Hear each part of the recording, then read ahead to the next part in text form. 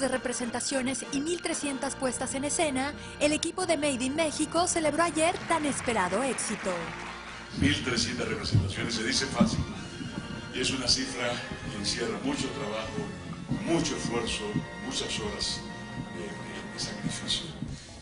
Una obra donde actúan nombres de la talla de César Évora y Jorge Salinas. Este último, inevitablemente, ha rondado la actualidad por su trabajo y por las declaraciones de Adriana Cataño, la madre de su hija, quien aseguró que debe someterse a una cirugía de espalda.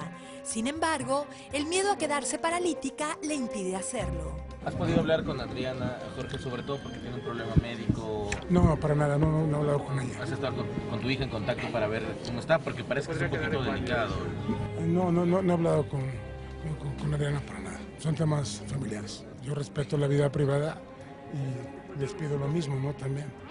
Pero cambiando de tema, en el acto también estuvo presente Susana Zabaleta y casualmente coincidirá con Julián Álvarez en los carnavales de Mazatlán, cantante hacia el cual la actriz ha confesado su odio en distintas ocasiones por sus infortunadas declaraciones hacia las mujeres. Él está un día antes, creo. Yo, o yo estoy en la coronación con la orquesta filarmónica. Bueno, no somos amigos. O sea, sí ofrezco, pero no me ha, no me ha pedido una disculpa. Y a las mujeres también.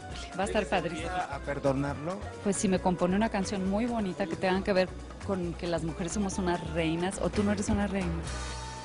Otra que tampoco quiso perderse tan importante homenaje fue Tati Cantoral, quien también ha estado en boca de todos últimamente por rumorarse que será ella la encargada de dar vida a Silvia Pinal en la serie autobiográfica de la primera actriz. ¿Cómo no me encantaría?